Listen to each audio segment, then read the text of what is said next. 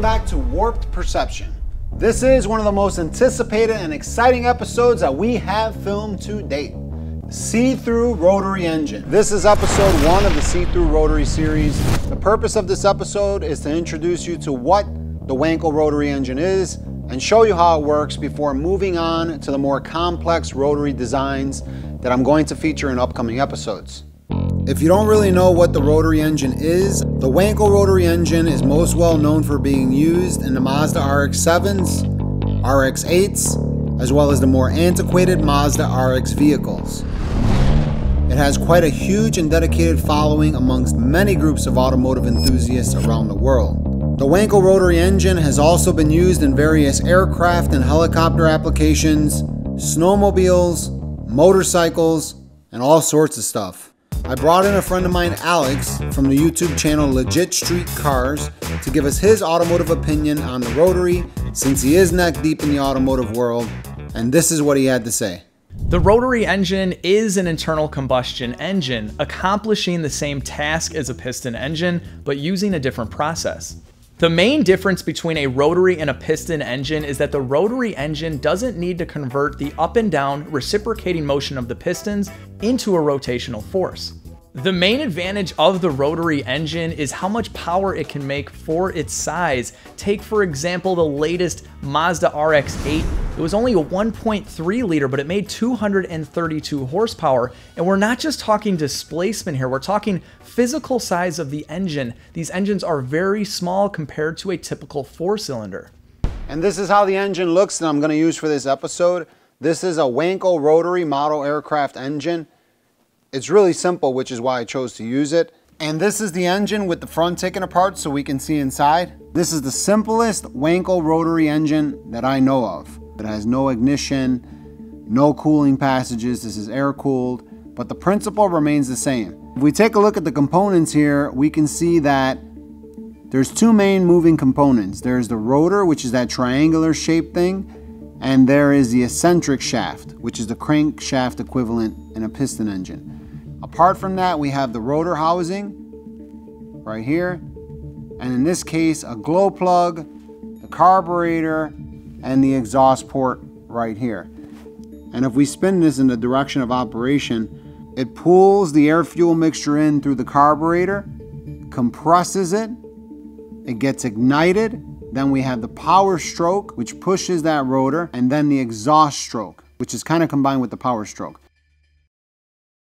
we can see there's only a couple of moving components inside this engine.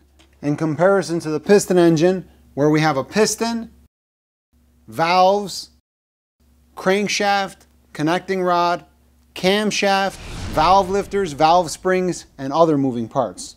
And there's a couple more complex designs, but this is the one that I'm going to use to show you the basic principle. Now first I'm going to start this up to show you just how crazy this little engine sounds.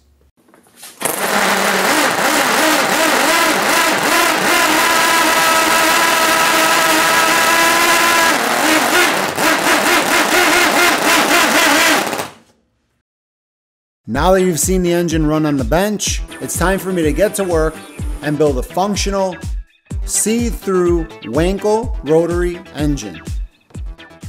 Okay, so this is where I'm at. I have my see-through rotary engine built, ready to start for the first time. So let's get this thing started up so we can see what the inside of a rotary engine looks like while it's running.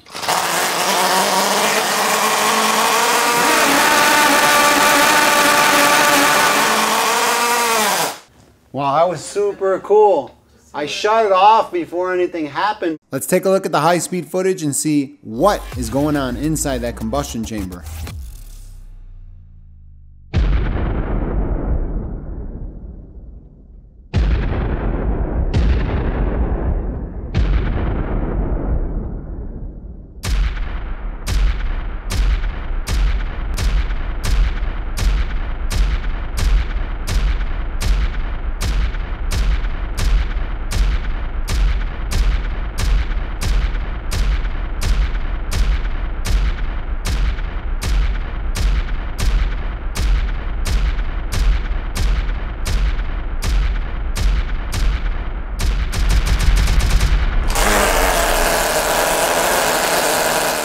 That was pretty cool, but it was kind of hard to see the combustion cycle. So for this next run, I painted the propeller nut and the bracket black so we don't have any distractions and hopefully we can see it a little bit better.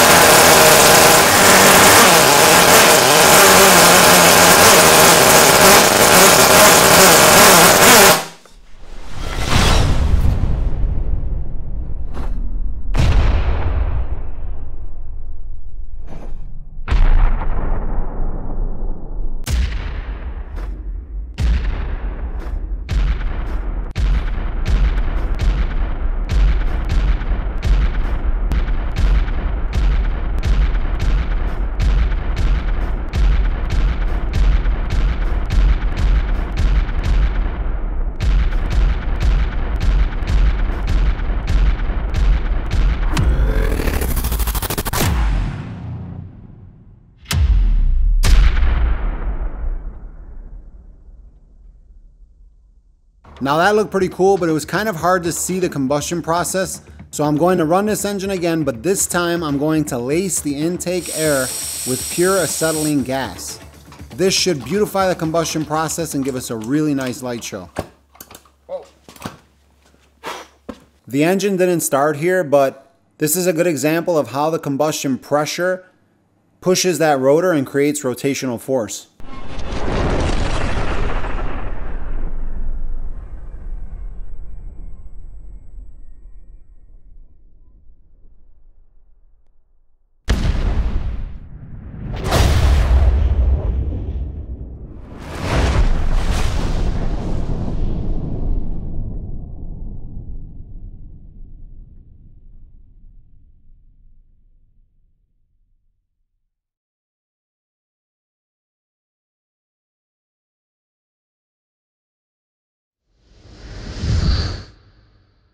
I could swear that happened in another see-through engine episode.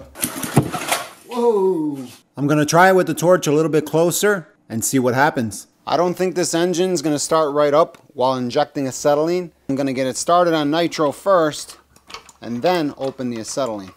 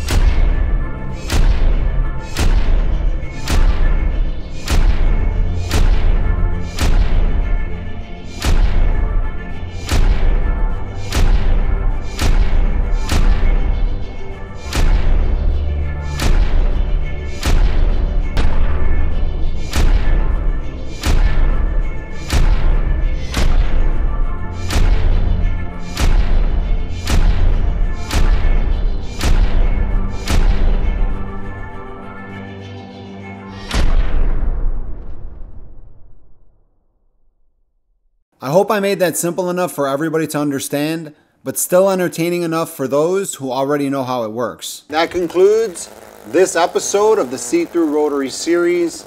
I thought that was pretty amazing that we're able to see inside of the rotary engine as it's running. And I figured this was a great opportunity to show everybody mainly how the combustion process works in the Wankel rotary engine. That's mainly what I was focused on here. And again, this is episode one of the series. I'm not going to tell you which rotary I'm going to feature next, but make sure you subscribe so you get notified. And that's about it. Let me know what you think in the comments below. Are you still here? Well, if you got this far, you're all the way at the end of the video, and I figured I would share a fun fact with you. That last scene of the see-through rotary burning acetylene took 226 takes. I literally just finished shooting. My hands have blisters from pulling this string over and over and over. I changed the string about 10 times. Finally, I got it to start, got the mixture just perfect, and I guess that's what you call dedication because I think it was worth it. yeah, I've never seen a see-through rotary run before, and I've never seen a rotary burn acetylene. See you in the next episode. I can't wait to do the next rotary episode. See you guys next time.